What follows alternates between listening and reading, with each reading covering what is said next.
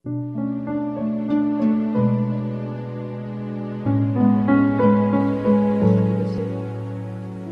Satan nie die woord van God kan neem en vers vir vers kan wys wat daar staan nie.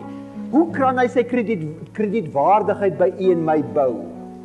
Deur wat te doen? Groot en u en ek is so naïef. En ek sê dit in 'n positiewe sin. So naïef. As een ek 'n wonder, as daar 'n gebed hoor en dan geskied 'n wonderwerk, wat is die eerste afleiding? Dit moet van Wat het God ons gewaarsku? Kan Satan wonderwerke doen? Gaan hy wonderwerke doen? Hoeveel wonderwerke gaan hy doen? Klein wonderwerkies of groot wonderwerke? Dit is nie 'n maklike ding wat ons uit die woord uit lees nie. Here, in die naam het ons dan geprofeteer, Here. Ons het dan duiwels uitgedryf, Here, waar ons doen, ons kon groot dinge, groot kragte het plaasgevind terwyl ons U aanbid het. Dan gaan ek sê ek het julle nooit geken nie. Eindelik moes ek vir u Lukas 13, u kan gerus daar in die notas ook inskryf Lukas 13. Gaan lees daardie hoofstuk. Here, maar u het ons dan op die straat gelees sê Lukas 13. Here sê ek sê weer vir julle, ek ken julle nie. Ons is besig met baie ernstige skrifgedeeltes. Ek oorbeklemtoon dit nie. Ek wil net die woord van God vir u lees. Sal Satan die Bybel aanhaal om te mislei? Ken die die Satan die Bybel? Jesus het gesê hy ken die woord baie goed en hy sidder. Sal Satan uh, die selfs die woord aanhaal? Hy jy's 'n meester daarvan.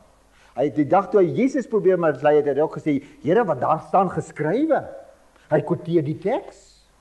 U moet dit inneem. Daar staan geskrywe. Nou wil ek kom by iets wat ons gisteraand se lesing aangeraak het.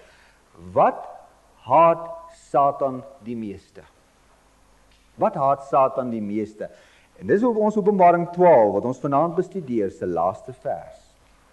Want die draak was vertorend op hierdie vrou. Ja, Satan is diep ongelukkig met u en ek wat God wil dien en die verlossing in Jesus wil hê. Hy was vertorend op hierdie volgelinge en het weggegaan. Ja, as jy 'n vyand wil aanval en jy slaag nie, dan moet jy 'n ander tegniek gaan gebruik. Hy gaan weg om oorlog te voer teen haar ander nakommelinge wat die gebooie van God bewaar en die getuienis van Jesus Christus hou. Wat is die twee hoofpunte wat Satan aanval? Die gebooie van God wat ons gisterand gesien het en u getuienis en eintlik beteken daardie woord in sy strengste vertaling die profesie. Die profesie die boek wat ons nou bestudeer is eintlik Jesus se profesie. Die heel eerste vers sê dit, die getuienis van Jesus Christus. So Satan wil nie hê u moet die profesie van Jesus ken nie en hy wil ook nie hê dat u die wet van God moet onderhou nie. Maar ek moet dit vir u wys. Wie uh, uh, wat is die definisie van 'n heilige? Hier kom die leidsaamheid van die heiliges te pas. Hier is juis hulle wat nou die gebooie van God onderhou en die getuienis of die geloof in Jesus bewaar. Satan wil hierdie punte uit jou lewe uitkry, maar die wat as die onder die definisie van 'n heilige gaan inskakel, is juis hulle wat die gebooie van God bewaar. U moet onthou die laaste boek van die Bybel, Openbaring 22 Die 14de vers sê: Salig is hulle wat die gebooie doen, sodat hulle reg kan hê op die boom van die lewe en ingaan deur die poorte van die stad. 'n Baie belangrike vraag. Hoe kan ek seker maak dat ek nie deur Satan mislei word nie? Want Satan gaan voor u staan met groot wonderwerke. Satan gaan vir u die Bybel aanhaal. Satan gaan nie by die karousel alleen werk nie, maar baie sterker. Waar dink jy werk Satan die hardste? By die karousel of in die kerk? Dis nog 'n moeilike vraag. Waar dink jy die bose sy beste aanval? Ek dink by die karousel werk hy nie so hard nie. Waar werk waar wil hy waar watter veldslag wil hy regtig wen? Die wat by God wil staan.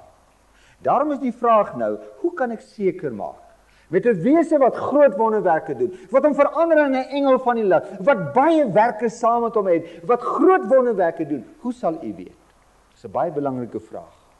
Openbaring gaan baie tyd hier aan spandeer, maar ek wil vir u net 'n paar riglyne gee. Jesaja help ons en ek wil net wys vir u wat Jesaja sê is reg deur die Nuwe Testament. Jesaja sê vir u tot die wet en tot die getuienis, tot die wet en tot die, tot die profesie. As hulle nie hiervolgens spreek nie, is hulle volk wat geen dag geraad. Dan daar geen môre ster in hulle nie. Waaraan moet jy meet? Aan die wet van God en aan wat die profesie jou leer. Tot die wet en die getuienis as hulle nie hiervoor gespreek nie, het hulle geen daag geraad nie. Ek het gisterand vir u gesê ek wens ek kon Matteus 22 met u deel. Op 'n dag het die Fariseërs na Jesus toe gegaan en vir hom gesê: "Here, wat is die groot saak waarheen jy ons wil lei?"